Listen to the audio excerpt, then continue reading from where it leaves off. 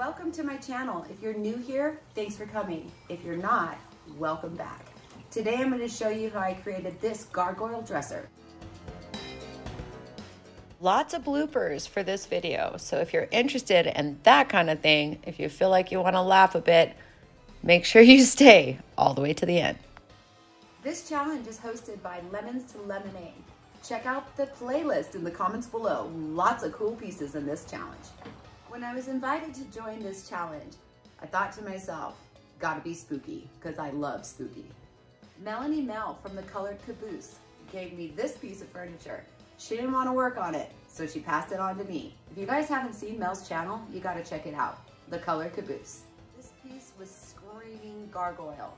I had an idea in my mind on how it would look, didn't know how I was gonna do it. Today I'm gonna walk you through it.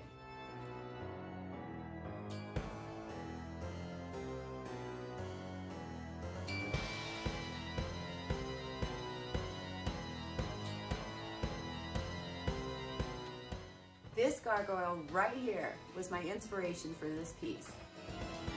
To make our mold, we're gonna use Amazing Mold Maker. We're gonna take out two equal portions of each part. We're gonna mix those together really, really well until it's a nice light yellow, a uniformed color.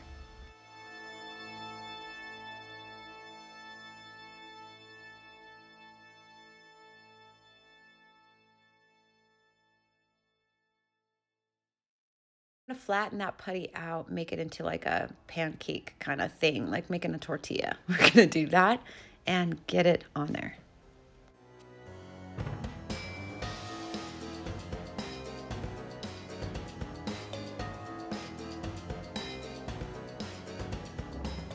Says you have about two minutes work time for the mixing and then it's about five minutes till it hardens up.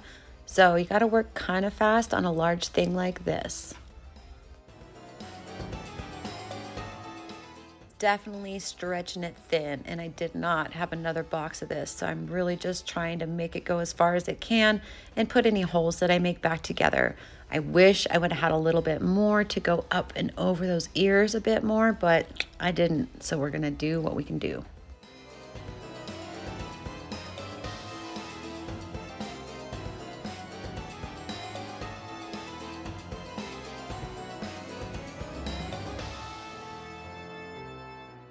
For that to dry and then I gently pulled the mold from the gargoyle. I was really happy it all held together. Can't really tell how much detail I'm gonna get, but so far so good. I ran myself over to Home Depot and picked up a bucket of plaster of Paris. And now we're gonna mix it till we can pour it into our mold. I'm gonna give it a light spritz and I'm gonna mix three cups plaster of Paris to three cups of water.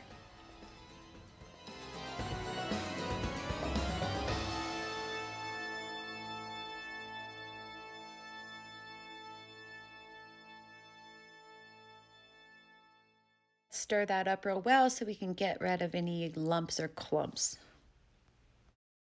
I'm going to put my sander on the bottom of the bucket and try to vibrate out any bubbles that are in there.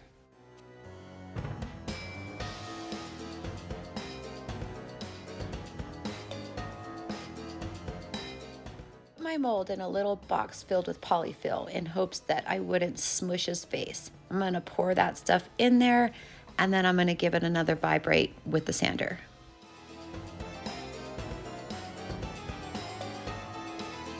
Now we're gonna pull out our IOD mold wings and feathers and we're gonna pull out our air dry clay.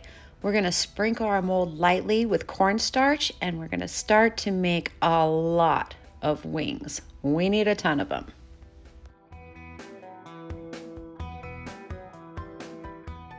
IOD molds are very deep and have a ton of detail. So after you've made your mold and you've wiped it clean on the back, you go ahead and just pull it out while they're still wet. While I was making many, many molds, this guy was drying. Now it's time to pull off the mold and see what we have. Check him out. He looks great. A little bit of cleanup needs to be done around the back of his head, but all in all, he's good. Now for the dilemma of how to hook him on here. This is plaster Paris, guys. It kind of weighs a lot. I'm a little bit worried about that. So So I decided, why not drill right through him and just screw him right onto the dresser.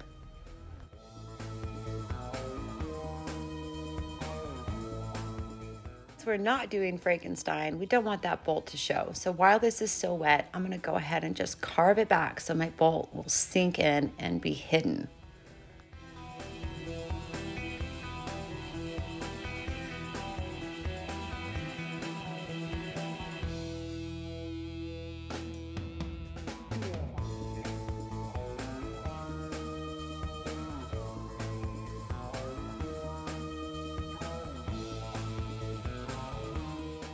Lucky for me, my bolt was long enough. I added a washer and a nut, and what do you know? It works. Now we can grab his chin, and there you go. That's how you open your top drawer.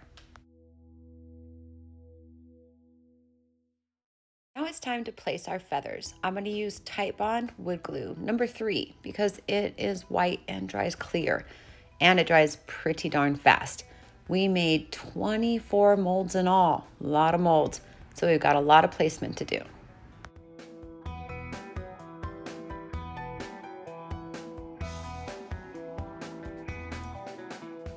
want to cover all your edges with that wood glue. That way you can make sure that you have a nice, good, secure fit to your piece.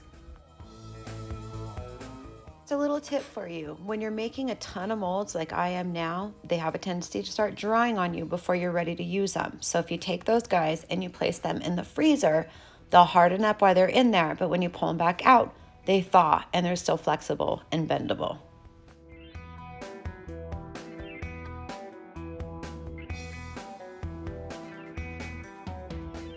Did a couple dry placements to see how the feathers would look the best. And I found that if I started at the bottom and worked my way up, it looked more realistic that way. That way the feathers at the top are sitting on top of the bottom, just like they would be, right? Now that we have them on there, that's great, but our drawer still needs to open. So we're gonna go ahead and just take a straight blade and cut right through them. I'm gonna use my fingers to smush down the edges so they don't catch and pull up. And there we go.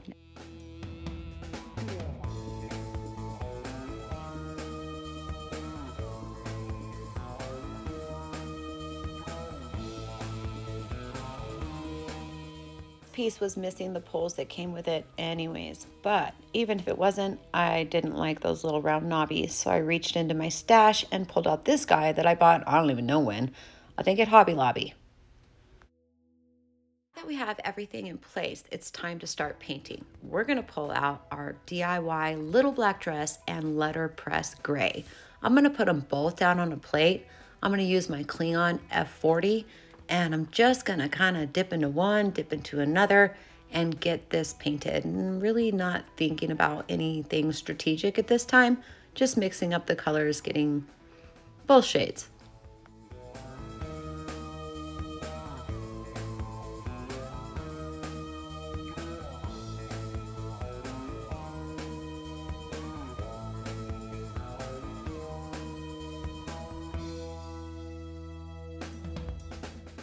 When your molds are wet still, you don't want to be super aggressive because you can smush out the details. I want to get in those details, make sure I have everything pretty thoroughly painted, but I don't want to smush out the folds and all the goodness on them.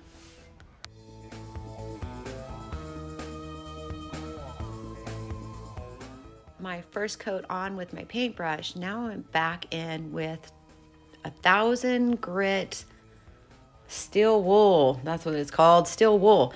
And I'm just dabbing it on there to get a little bit of texture in there.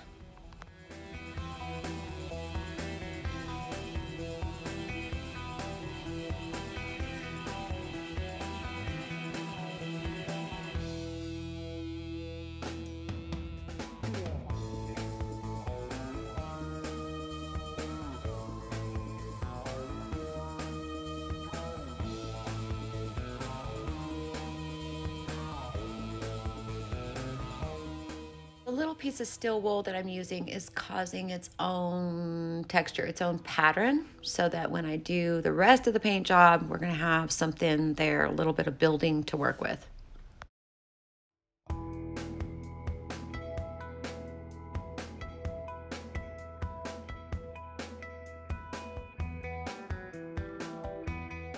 So here's what we have with just the gray and the black. It's already looking pretty cool, don't you think?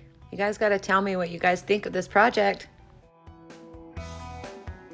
It's a nice close-up to show you how you can see what the steel wool did, how it left its little imprint on there. And look at him. Doesn't he just look great? I love, look at all the depth. Ah, he's cool, huh?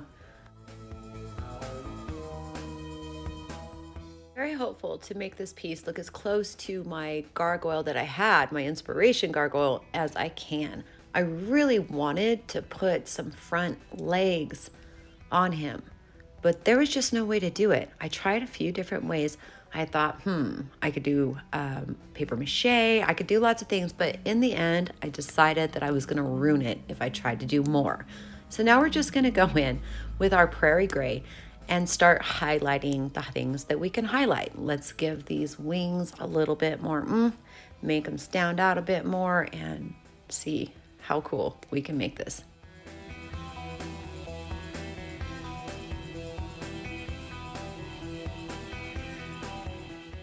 Now I'm going to pull out this brush and I'm going to dry brush on some sandy blonde, just the lightest, lightest amount. Try to just, again, highlight, hit those high spaces and make even more definition and depth come out.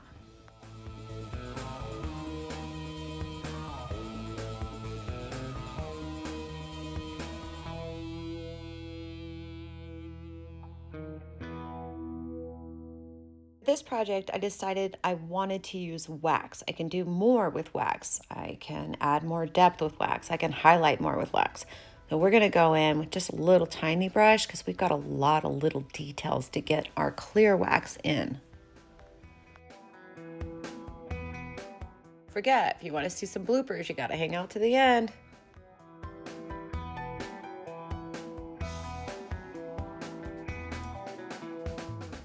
That I have a coat of clear on there, I'm going to go back in with my dark and black waxes. I'm just going to kind of go back and forth again, mixing them up and covering up these big spaces here.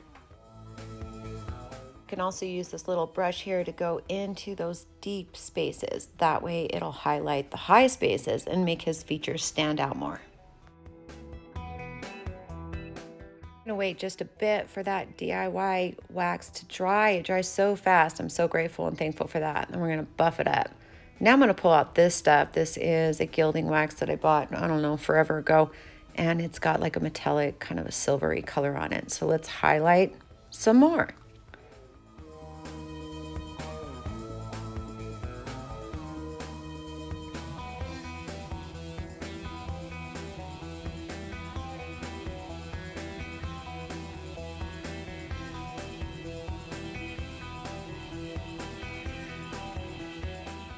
Think it's really cool how a little bit of highlighting can do so much. We can just hit the eyebrows, like the brow line.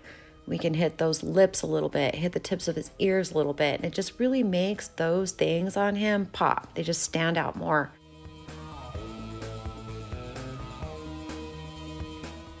So hitting those wings on just the tips too is just gonna give us a little bit more depth and make those wings pop. All right, so now that we did that, we added all that dark wax, and I just don't like the body. It's too much. It's too blotchy. It's mm, just not good. So we're gonna go ahead and pull out our wax. We're gonna add in some little black dress, and we're gonna make a super dark black wax. One that sticks, one that doesn't wipe away, one that just, yeah, hopefully covers up our mm, not so cool.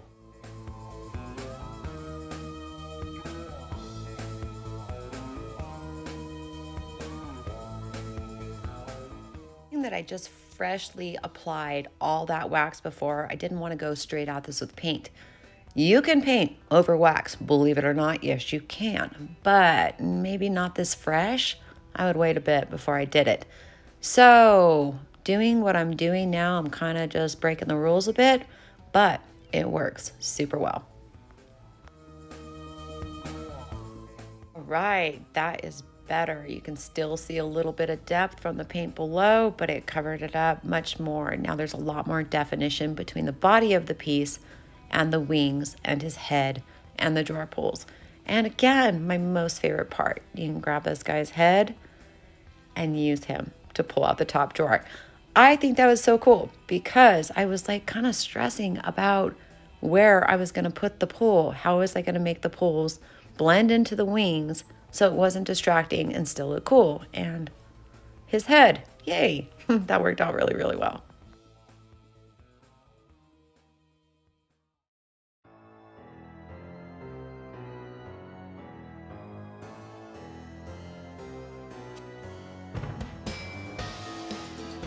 Thanks for watching. If you haven't hit that subscribe button, don't forget to do it now. You guys are awesome. And remember, only you can make it happen. I'll see you next time.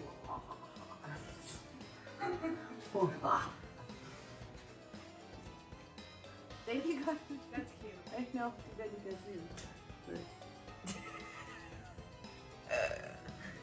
what are you doing, buddy? What are you doing?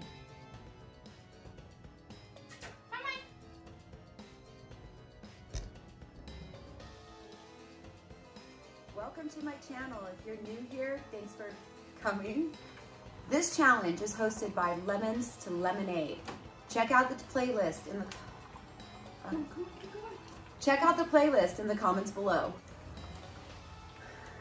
All right. You want to know what I think you should do? No. Yes. Mamas! Where are you going? Oh, look, right there. Stay right there. Stay right there. I did this for a challenge. It's hosted by... I did this for a challenge. It's hosted... What the fuck? This challenge is hosted by Lemons to Lemonade. Check out the playlist in the comments below. So I was trying to figure out how to get it legs in the front. Came up with a couple of different ideas. Some screen. How do you hook it on? How do you make the drawer work? If I paper mache this and painted it to match. Just couldn't figure out how to do it, so no legs. All of these wings here are made by IOD. These are molds that I sell at my store. You can find them on my website if you want them.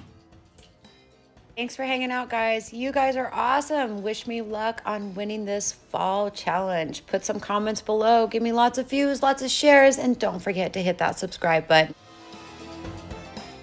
See you in the next video.